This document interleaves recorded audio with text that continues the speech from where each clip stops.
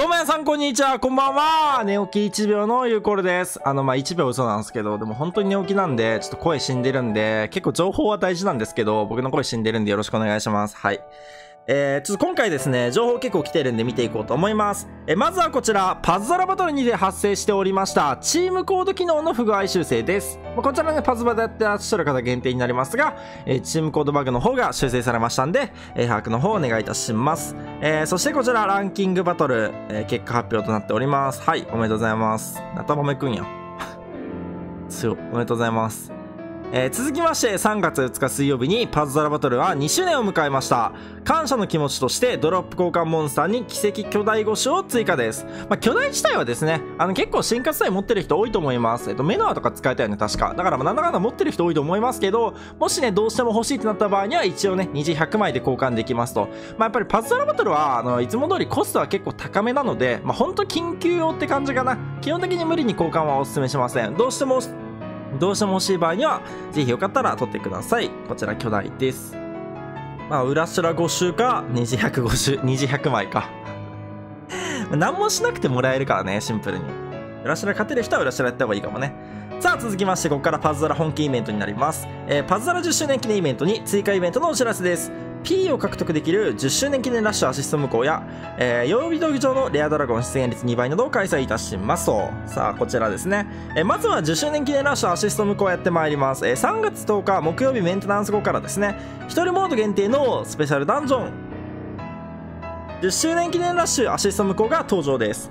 壊滅キルフロアでは P、5属性いずれか稀にミニ 20P が必ず2体ドロップと。で、絶地獄級フロアでは P、5属性いずれかが必ず1体ドロップします。さらに同期間中マルチプレイ3割に協力10周年記念ラッシュが登場と、この機会に規制に役立つモンスターを集めようと。難易度次第では、あと短さ次第では、3倍とかで10周年記念ラッシュアシスト無効を周回するのがちょっと流行るんじゃないかなとか思いますけど、どうなんですかね？まあ、スタミナとかにもよるんですけど、P の集める効率が良ければワンチャンって感じかな。例えば6フロアとかで、あのー、グラビティ周回とかができれば結構、はい、あの、周回は入りそう。ただまあ、ラッシュなんですよね。まあ、ラッシュだから多分なんかそんな簡単じゃなさそうだし、まあ、わかんないですね。はい、まあ一応こちらがね、P 確定ゲットできる10周年記念ラッシュです。えー、さらに3月7月曜日からですね、えー、こちらレアのドラゴン出現率2倍です。はい。月曜、火曜、水曜、木曜、金曜ですね。す、え、べ、てエリス、センリ、バラフマー、チーリン、シェヘラザードドラゴンが出現率2倍となります。え？おい、兄さん、これも書いてよ めちゃくちゃいいじゃん。ゲリラダンジョンノエルドラゴン大集合。1日3回出現。これめちゃめちゃ大事やん。え、これ元から書いてあった？ないよね、多分。え、今回新しく出たよね。これ一番ありがたいが、えー、3月12土曜日、3月13日曜日、この2日間ですね。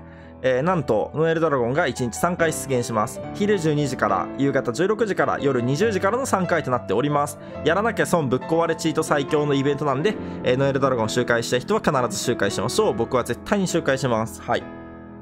で、追加4段、3倍に協力プレイボーナスの友情ポイント10倍がつきます。はい、ぜひよかったらやってみてください。という感じがパズドライベントです。そしてですね、こちら、レアガチャ原画師フェスの期間に、ピックアップモンさん情報はこちら、また期間2のログインで原画師ガチャがもらえます。はい。期間にこんな感じになっております。はい。特になんかね、このキャラの確率が上がりますよとかは、今回の原画シーベントはないので、確率はね、えー、1と一緒です。あの、星7キャラのね。ただその代わり、原画師ガチャが1回ね、ログインするだけでもらえますので、また必ずログインの方よろしくお願いします。一応これに合わせて放射の確定ガチャも復活しますので原画師の放射のキャラ欲しい人は3680円また用意してねガチャの方を引いてみてください。さあ続きまして親友選択やランク戦メモリアルガチャなど10代リセットは3月10日木曜日のメンテナンスを予定しております。親友選択やプレミアガチャがまだの方はお忘れなくとなっております。はいこんな感じです。えまずですね、アルトリウスやブラックバードなどのフェス限定モンスターがランク戦メモリアルガチャに追加されます。アルトリウス、ブラックバード、デイトナ、サフィーラ、ライネス、カティアですね。まあ、ぜひともですね、ランク戦まで上げてもらって、こちらのガチャの方引いてもらえればなと思います。あと、深夜プレゼントはね、必ず使うようにしておいてくださいね。はい。絶対残すことはないように、リセット入っちゃうんでね、必ず使っておきましょう。さあ、続きまして、高難易度ダンジョンの難易度を調整いたします。えー、連魔極連極連、えー、闘技場、裏闘技場、修羅裏修羅、えー、協力玉の闘技場、協力裏闘技場を、ちょっと修羅の限界、すべて濃厚可能になります。はい。まあ今までね、ここら辺のダンジョンね、結構難かったんでね、今回新しく濃紺可能になって、あ、濃紺じゃなくてコンティニュー可能になってね、まあ初心者の人でも絶対勝てるようになります。はい。特に白の限界とかは石85個もらえるんでね、コンテ可能になって喜ぶ人も中には結構いるんじゃないかなと思います。はい。結構僕の動画見てる人、強いやつが多いんであれかもしれないんですけど、全然初心者の人とかもまだまだね、新しく今回の10周年で来た人とかも多いので、そういう人に対してもメリットのあるアップデートになってます。まあ、さすがにね、あの、新規はコンテ可能じゃないです。えー、さらに対象ダンジョン難易度調整です。えー、まずですね、ウラシュラとかシュラのルシファーが調整入ります。いや、もうこれは妥当すぎる、マジで。なんであんなクソ難しいパズル教室なんないって話だからね。いや、俺はまだ全然ウラシュラ勝てないんで、ルシファーが難しくて。これはもうありがたいですね。で、えー、ルシファーと、あとは多次元の越長のパンドラも、えー、調整あります。いや、パンドラはね、むずすぎ、あいつ。アスタロとは緊張感あってまだいいんですけど、ルシあのパンドラは本当にパズル力自力がいるんで、やっぱりね、ありがたいですね。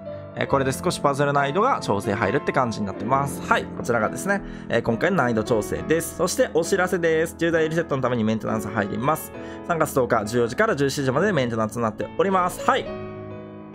ということで、ここからはですね、昨日に引き続き3月7日開催のドラゴンクエスト大の大冒険コラボ第2弾で新たに追加されるキャラクター図鑑を一部ご紹介いたしますということで、今回大々のね、進化情報来ております。実際に見ていきましょう。さあ、まずはポップの師匠、マトリフが登場です。こちら、究極進化、アシスト進化が可能です。えー、星7キャラですね、え覚醒、バインド、スキブプラス、操作負荷耐性、指延長プラス、スキルチャージ、3色攻撃強化3つ、十字、超覚醒、3色攻撃強化です。スキルは8ターンの間、チーム内の3色攻撃強化の覚醒数に応じて攻撃力が上昇。おっと、このキャラあれですね、ダイとめちゃめちゃ相性いいですね。出るんですね、これも。で、リーダースキルは火の焦げしてダメージを軽減、攻撃力が8倍、3項目加算、火の全パラが2.5倍となっております。はい。そうですね、この3色攻撃強化エンハンス持ってるんで、しかもスキルチャージもあって変身不要ってことで、まあ、かなり強いんじゃないかなと思います。はい。まあ、たださすがにね、あの、スキルの倍率自体は、まあ、多分だけど、1.1倍なんじゃないかなと思います。これで1.2倍だったらクソぶっ壊れなんで、多分1.1倍なんじゃないかなと思います。えこれがマトリフです。はい。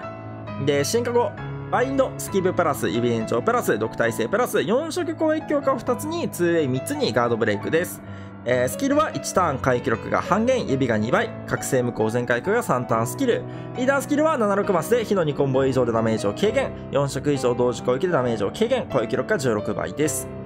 まあ、スキル自体はめちゃくちゃ強いですね。覚醒無効全回復3ターンで打てるんで、回還元は痛いけど、その分指2倍もあるんで、使いどころによってはめちゃ強そうかな。覚醒自体はちょっと使いどころは限られてくるけど、まあ、消す内回復したい多色パーティーとかなら使えるんかなって感じです。はい。これがアマトリフですね。2イ染めパーティーなら使えるかもね。で、武器は。強、三色攻撃強化武器に攻撃強化です。スキルは3ターン HP を50%回復、覚醒無効全回復、自分以外の味方スキルが2ターン溜まるとなっております。まあさすがにアトリ武器ほどじゃないですけど。まあ普通に強いですね、3色攻撃強化。使うパーティーによってはめっちゃ刺さりそうなんで、それこそ五条とかね、そういう感じのね、えー、使ってるパーティーにおいて、何かしらのキャラにアシストすれば結構強かったりするんじゃないかなと思います。はい、これがマトリフの杖ですね。2ターンヘイストスキル持ってるのも結構えぐいですね、これ。普通に実用性あるんで、2ターンヘイストで序盤使えて、火力も出せるって考えると相当強いのかなと思います。さあ続きまして、バーン直属の殺し屋、キルバーンが登場です。こちら、変身、アシスト進化可能です。キルバーン見ていきましょう。覚醒。スキルブースト3つに封印耐性で、スキルは3ターンヘイストで変身です。28ターン変身とかなり重いんで、真人みたいな感じですね。変身後、封印、指延長プラス2つ、10強3つ、攻撃体力、ドラゴンキラーです。これ、キラーで26億までは出るんですけど、10強3つが過剰なんじゃないかなと思いきや、副属性闇なんですよね。これ、副属性闇になってくれてるおかげで、まあ、主属性、副属性、キラー刺さるならともに26億、キラー刺さらない場合、ともに21億までの火力が出るので、まあ、火力枠としてはかなり強いんじゃないかなと思います。はい。